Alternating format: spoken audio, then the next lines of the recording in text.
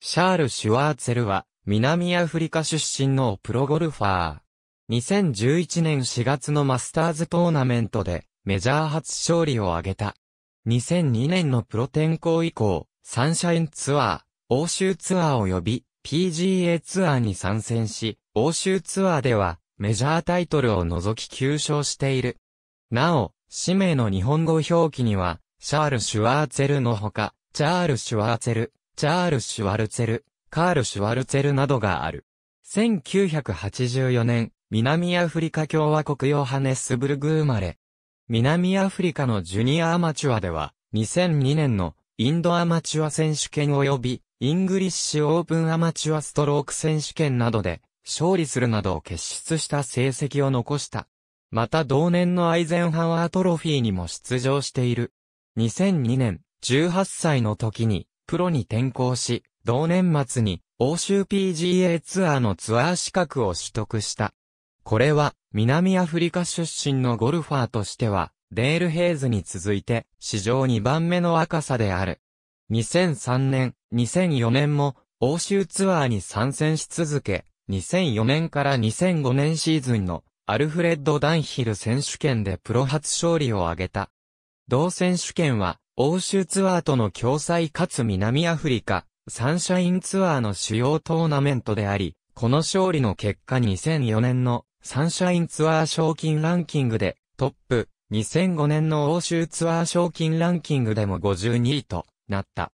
2005年2006年のサンシャインツアーでは2年連続の賞金王となり、シーズン終盤のボーダコムツアー選手権に勝利したことで、世界ゴルフランキングで初めて100以内に入った。シュワーツェルは2006年もフォームの改良を続け、同シーズンを賞金ランキングを18位、世界ランキングでは55位で終えた。2007年、サンシャインツアーでは3年連続となる賞金王のタイトルを獲得。同年4月のオープンデースパーニャでは、最終日16番ホールでイーグルを決めジョティランダワを1打差で破って勝利し、世界ランキング40位内入りを果たした。東京の大先輩、ゲイリープレイヤーのチャリティー活動を支援するため、ゲイリープレイヤーインビテーショナルにも幾度か参加した。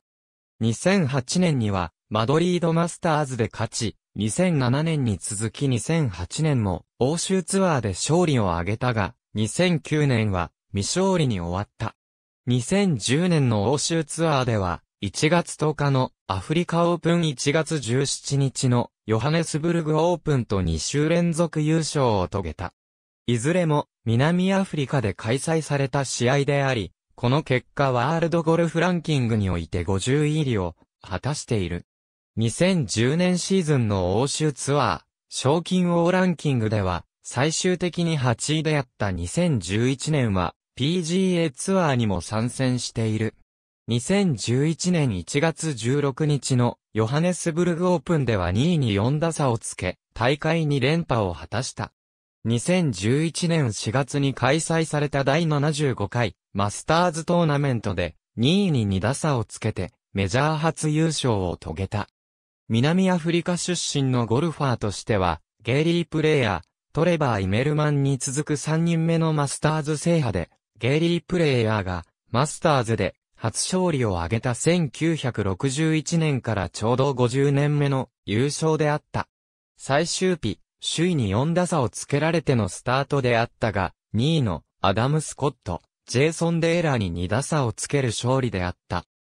最終日1番はグリーン右サイドからチップインバーディーを決め、3番でもフェアウェイ中ほどからの第2打をグリーンに乗せ、イーグルとスコアを伸ばし、この時点で首位スタートしたローリー・マキロイとの4打の差はなくなった。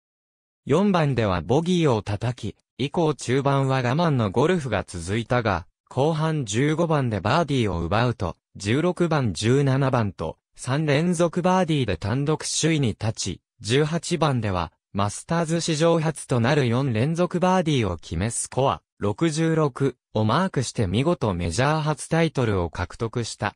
ゲイリー・プレイヤーは、これが王者のフィニッシュだ。と、シュワーツェルを称えた。なおこの勝利により、ワールドゴルフランキングは、前週の29位から11位に上がった。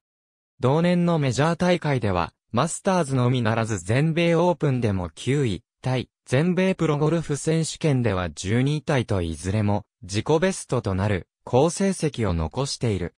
また全英オープンでも2日までは7位と、首位争いを演じていたが3日目に75を叩いて、崩れ、最終順位は16位タイであった。欧州ツアープレイオフ記録イコール不参加 T イコール、対背景黄色イコール10位内、入賞背景緑色イコール優勝。ありがとうございます。